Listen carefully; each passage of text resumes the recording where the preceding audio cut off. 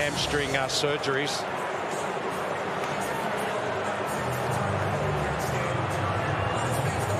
So this is what maybe was going on. We're not really sure.